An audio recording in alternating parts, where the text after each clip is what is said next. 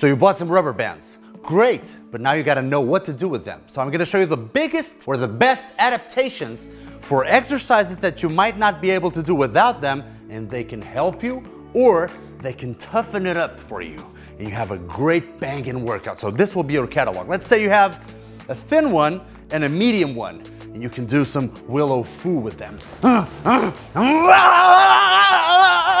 Let's start with the king of all home exercises the push-up. If you're, let's say you can only do one or two push-ups, there is a way of using this in order to be able to do much more and not always keep doing them with your knees on the floor.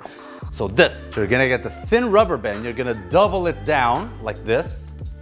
You're gonna do sort of a slingshot. So you're gonna put your arms inside, really at the beginning of your shoulders, and from here, it's even gonna help you bounce a little bit. So it's gonna really take off like 30% of the strength that you need to do the push-up. So from here, once you did one or two push-ups, but now you can do like eight, 10, it's bouncy. Or if you're more advanced, you can use it behind your back like this on the crease of the elbows in order not to happen this. Woo! For this not to happen. And there, there you're gonna have a lot more resistance and it's gonna be tougher. So, number one, done.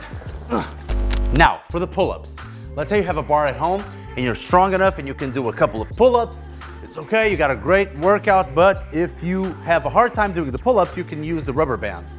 I recommend the medium rubber band, like the purple or the green one, and then you can just place it on the bar, put your strongest, ah, strongest foot on top of the rubber band, hang yourself, and put the other foot in front in order not to have any accidents like whipping motion. You go. So here, and go all the way up, all the way down, all the way up, all the way down. This will help you tremendously. Or if you don't have a high bar, what you can do is you can just place the rubber band in front of you, either uh, upper or uh, in front, actually in front of you or a little lower. You can do it on the banister, on, on your uh, balcony, for example. Put your hand inside, roundabout. Don't grip it too hard. You don't have to. It's pretty much leveraged. And from here, you're gonna go all the way back. Feel the tension, feel the stretching on your uh, lats. Bend over to the front so that you get this really nice position as if you were vertically pulling. And then you pull your elbow to your, um, to your hip. So the elbow is doing the movement. Let's say you want to hit elbow butt somebody in order to really work those lats. So this is the other way in which you can do or work the exact muscles of the pull-up at home.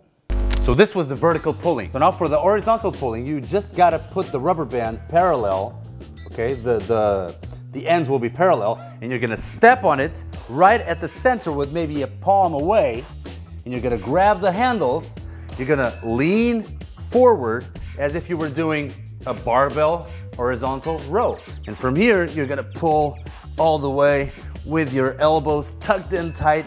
And there you have a great workout as well. So I recommend you start with a thin one, and then when you progress and get stronger, go to the medium one.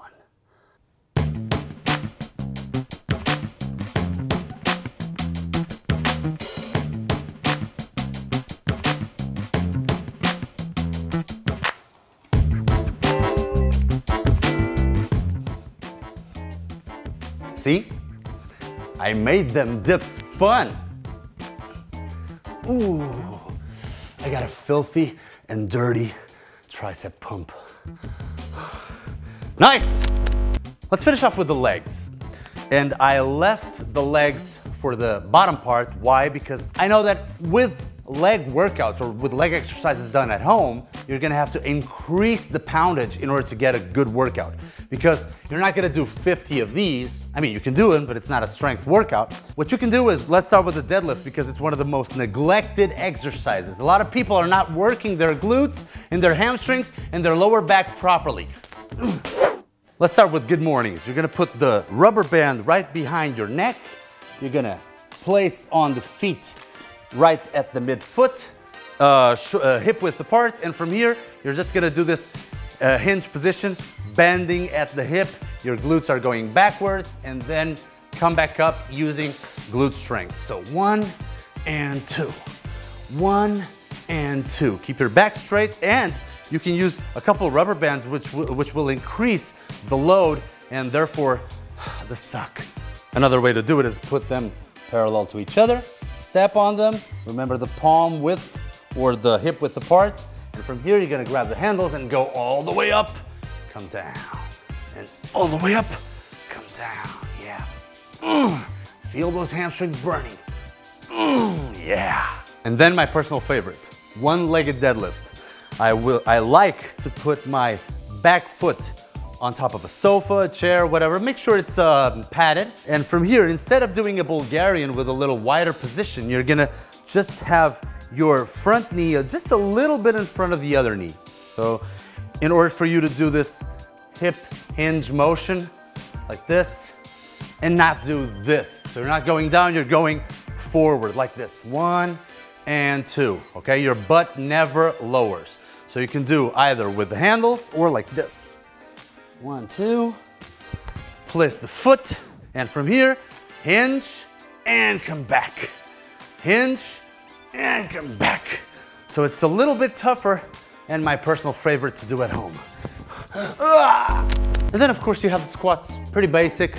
Put it all the way back, step on it, a little wider position, and then go all the way down and come back up. Try to keep your knees to the outside and one and two. Pretty easy to follow.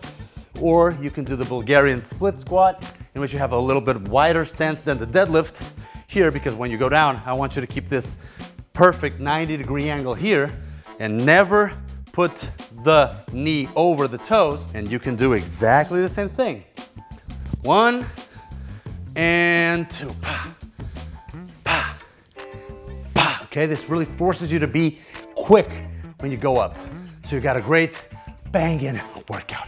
Now, I believe this video will be very handy for you. Why? Because I'm pretty sure that you know how to work your triceps and your biceps with the rubber bands, but pretty much everything else maybe you're not doing. And the deadlifts and the hinge movements and uh, the way it help you with the push-ups. I mean, I really hope this helps because you really can have a great workout only using the rubber band. So here you have all the patterns of exercise readily available to you and you have no excuse because it's not like you're buying a whole machine set for you to have at home. Luís, give me the whip. I can't stand this guy anymore. Oh, oh yeah. Mm. Mm. Mm. Come help me.